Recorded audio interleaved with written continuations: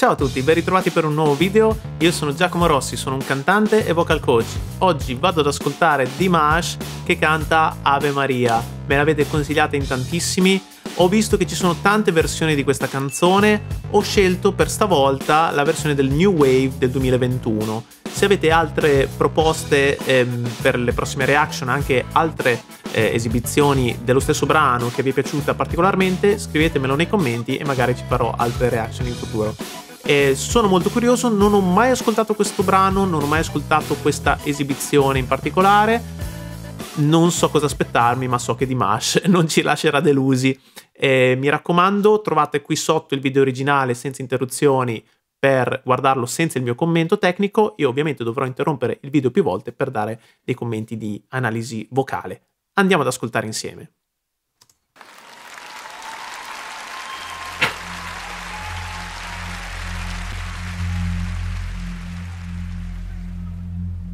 Bellissima la scenografia.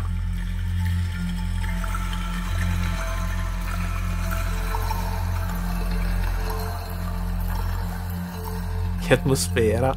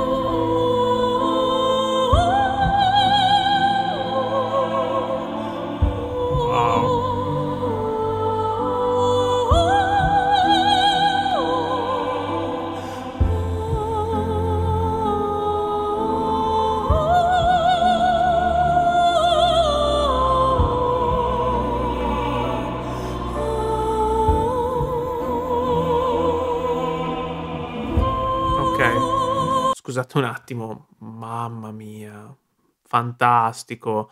Ehm, Ave Maria cosa significa? È una preghiera. Adesso io non, non credo che questa sia una canzone eh, scritta prima, adesso non credo di averla mai sentita, quindi credo che sia proprio una canzone scritta da Igor Krutoi per Dimash, suppongo. Ditemi se è corretto perché non ne ho idea, scusatemi eh, se esisteva già la canzone non, non lo sapevo, eh, però ehm, è assolutamente una preghiera, quindi fin dalla prima, ehm, dal primo ingresso in scena di Dimash, ok, anche quando ancora non sta cantando, vedete che ha il volto ehm, raccolto, incupito in un certo senso da questo senso di malinconia, ok, anche dal, dallo sguardo dal viso, eh, dall'espressività che lui mette, vedete questa ruga in mezzo alla fronte che, eh, che lo accompagna per tutta l'esibizione,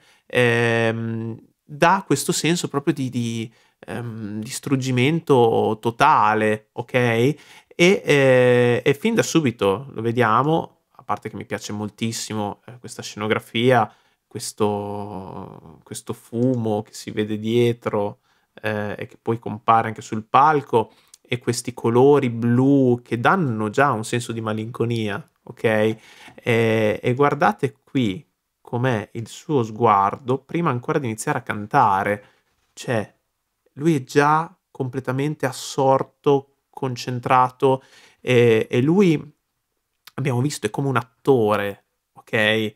Eh, quando eh, fa queste performance, lui sta recitando una parte ed è totalmente immerso in questa parte. Lui diventa la canzone che sta cantando e, ed è molto molto bravo a interpretarla in questo modo.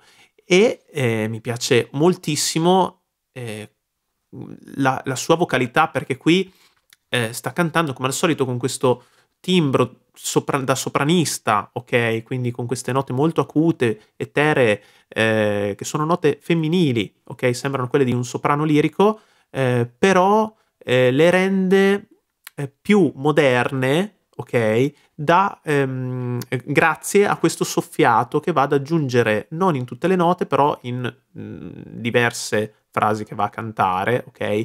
Nel canto lirico non si sente praticamente mai un soffiato così evidenziato, anche perché non avrebbe neanche senso farlo. Il cantante lirico deve cantare senza il microfono, deve farsi udire da tutta la platea senza il microfono, per cui il soffiato non lo puoi far sentire, non lo puoi proiettare eh, fino in fondo alla, alla sala, ok?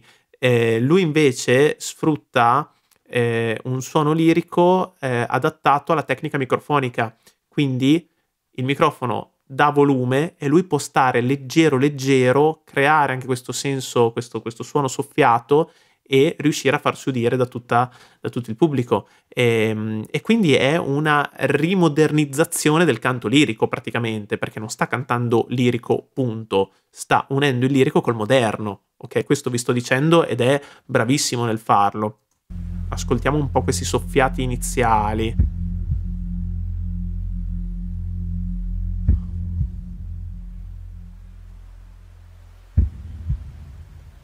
Guardate lo sguardo, mamma mia.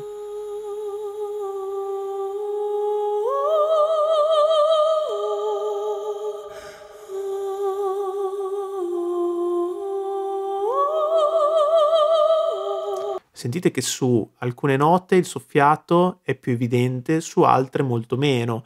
Quindi lui gioca con questi colori, ok? Per rendere anche più dinamica la sua interpretazione. Qui sta cantando tutto comunque molto piano, pianissimo, ok? Eh, però per dare ancora più dinamica sul pianissimo si muove tra il soffiato e un suono più addotto, ok? Sempre con, questo, con questa impostazione comunque liricheggiante, laringe bassa, palato alzato e, e questo suono eh, da sopranista. Eh, bravissimo, molto bella anche la melodia, mi piace moltissimo, rimane molto eh, impressa nell'orecchio, semplice ma veramente efficace. Poi dopo ci sono anche dei cambi di eh, tonalità, delle modulazioni che la rendono ancora più efficace. Igor Kurtoy è un genio di questi cambi di tonalità e sono veramente bellissimi da sentire, molto molto belli e come al solito lui parte molto piano per poi crescere di intensità anche con la voce di Mash. Bravo, molto molto bravo. Mamma mia.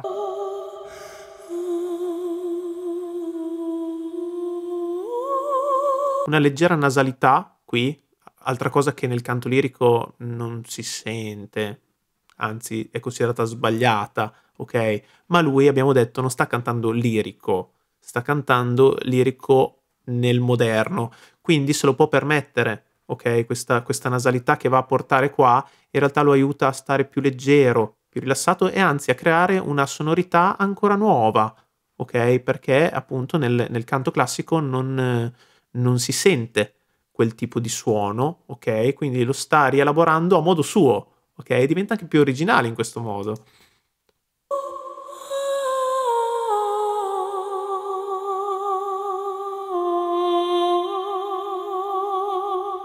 Come al solito un vibrato veramente controllato al millimetro, molto musicale, bellissimo è tutto al suo posto e la sua interpretazione è, è così efficace per tutta questa serie di motivi. Ok, non c'è un motivo solo, ce ne sono tanti, è tutto studiato, è tutto pensato, è tutto provato non so quante centinaia di volte prima di poterlo eh, di poter essere portato su un palco del genere, ok?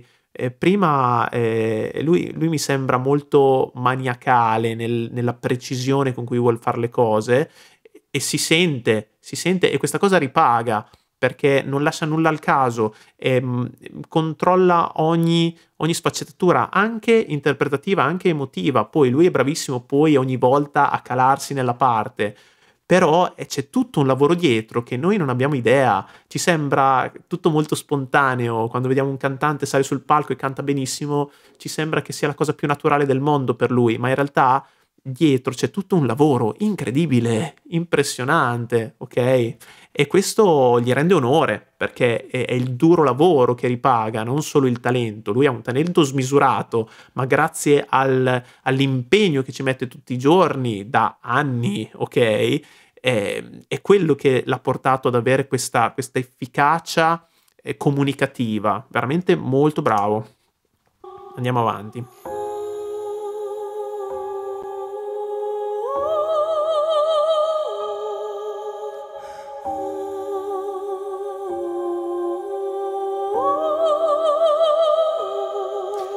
Scusate, un'altra cosa, eh, quello che vi dicevo prima della tecnica microfonica è importantissimo perché ehm, senza questo riverbero e questo delay che c'è sul microfono non avrebbe lo stesso impatto questa esibizione, ok?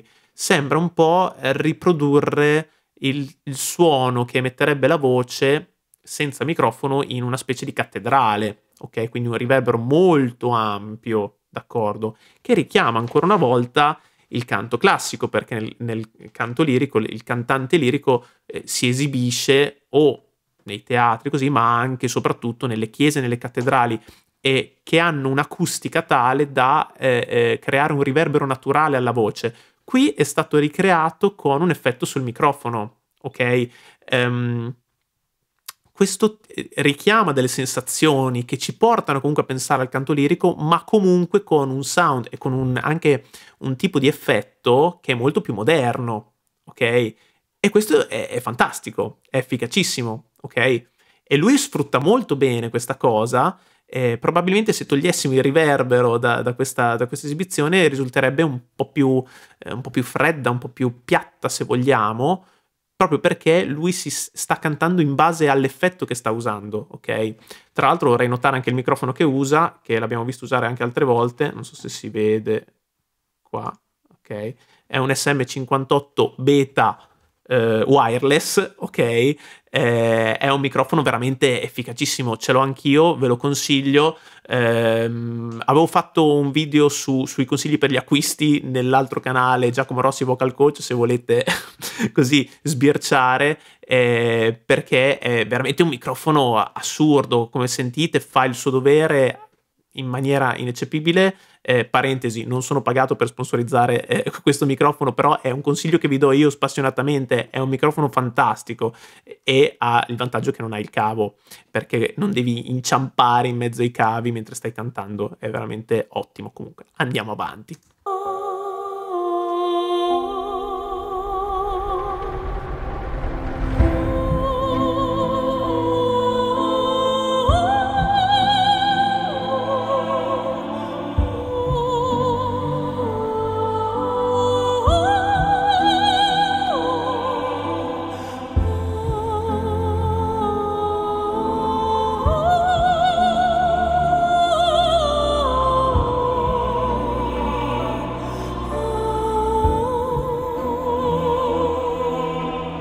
La melodia è veramente molto toccante, bellissima, qua c'è stata una modulazione fantastica, è entrato anche il coro che si vede dietro che sta cantando per creare ancora più pathos, ok?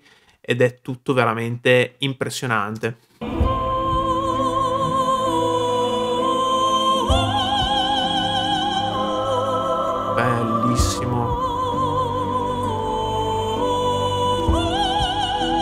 Scusate, c'è stato un accordo bellissimo, e lì è il genio di Igor Krutoi, eh. Ascoltate, qui. Questo accordo qui è dissonante, è, sembra quasi una... non so se un diminuito, non lo so, però è proprio bello, cioè crea un senso di... Eh, come si può dire? Di tensione insieme alla voce di Dimash però è una tensione bella, cioè non è cacofonico e fastidioso, ma è un, è un movimento, una specie di tormento però positivo, è stranissimo, veramente geniale dal punto di vista dell'arrangiamento. Che bello.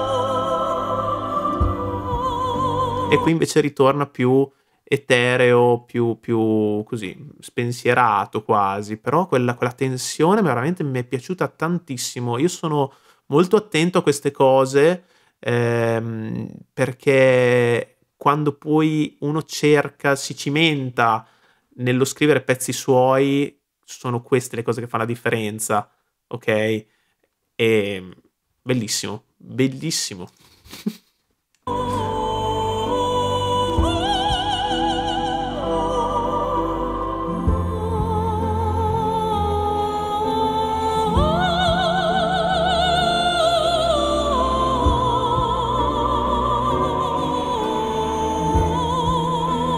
guardate, lui è perfetto come tiene la bocca, questo è appunto un approccio, come dicevamo prima, molto, molto classico, come si, si dice immaginare di tenere un uovo in bocca mentre stai cantando, no? Questo ti crea più spazio, ok? Ti fa creare più spazio e allo stesso tempo l'uovo è delicato, ok? Quindi tu devi, devi, immaginare che questo uovo non lo devi rompere in qualche modo, no? E quindi devi creare spazio per contenere questo, questo, questo oggetto all'interno della bocca e quindi crei più spazio di risonanza e, e un suono comunque delicato e morbido, oltre a essere pieno. È piccolo stratagemma, ok?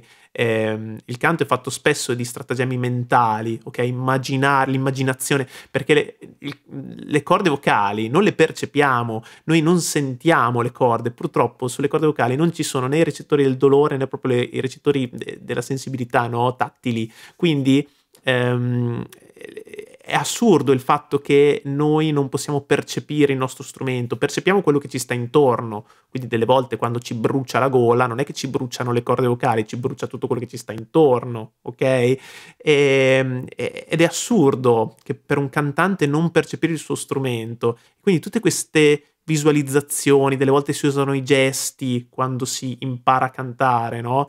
Ehm, sono efficacissimi e molto utili per, proprio per per imparare, ok? Vabbè, chiusa parentesi, eh, andiamo avanti.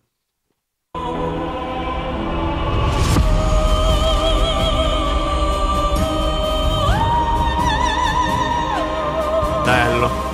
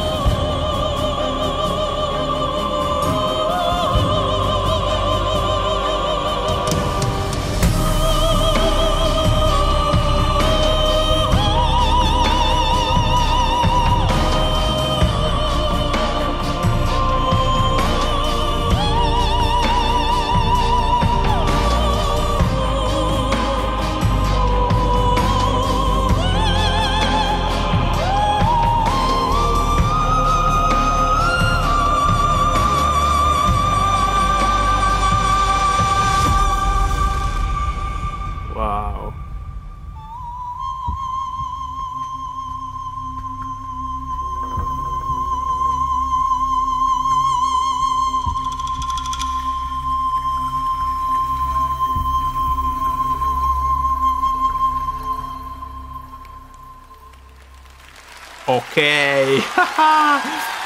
Ma vabbè.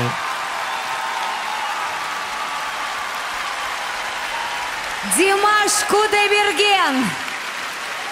Ok, allora, qui ha fatto già delle note molto acute prima di fare quelle super acute, ok? Però già quelle note lì, vorrei andare a vedere che note erano. Qui.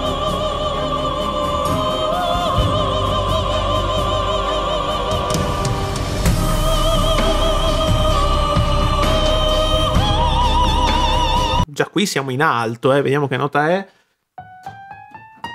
È già un Si bemolle 5, attenzione, ok? La fa come se fosse una nota comoda del parlato, ok? Come se parlasse tutti i giorni con quella nota lì.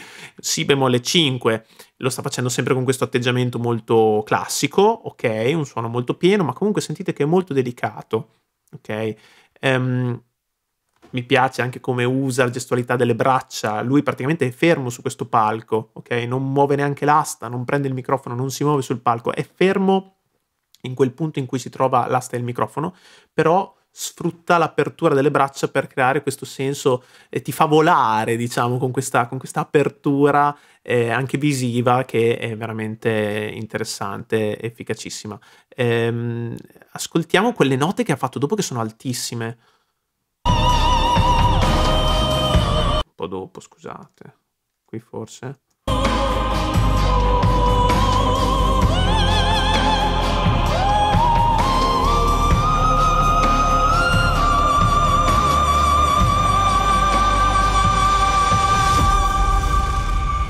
vediamo che nota è. Ok, tocca un Fa 6. Ok, sentite che lo tiene sottile, sottile. Praticamente qui lui è molto bravo, rimanendo in M2, ok, ad allungare le corde tantissimo, ok? Dovete immaginare le corde come un elastico, ve l'ho detto anche altre volte, no? Un elastico teso, teso, tesissimo, talmente teso che eh, a un certo punto produce queste note acutissime, ok? Ehm, sono tecniche che, che, si imparano, d'accordo? E, e, il suono è veramente sottile, ok? Non è potente, è sottile. La potenza poi te la dà il microfono, appunto. Quindi, di nuovo, tecnica microfonica, lui è bravo a gestire il tutto grazie al microfono, ok? E, e poi sentite, tiene questa nota lunga, perfetta, ma dopo continua a fare dei fraseggi su quelle note altissime con un suono ancora più sottile, sottilissimo proprio. Ascoltiamo.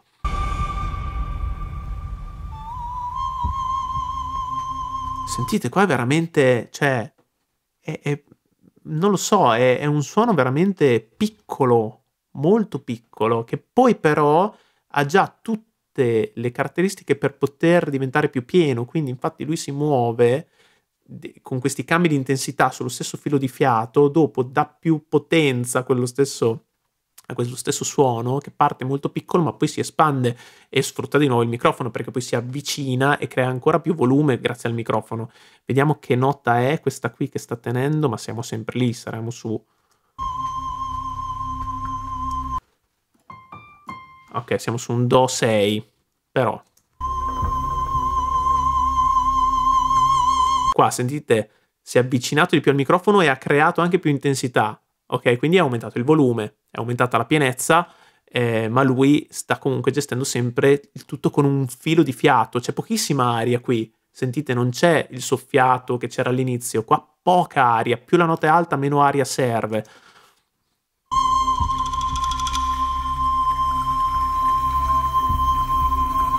Sentite com'è preciso. Cioè, è veramente precisissimo quando fa queste note alte, ok? Le tiene perfette, poi aggiunge il vibrato alla fine. Pazzesco, veramente bellissimo. Mi è piaciuta moltissimo questa esibizione.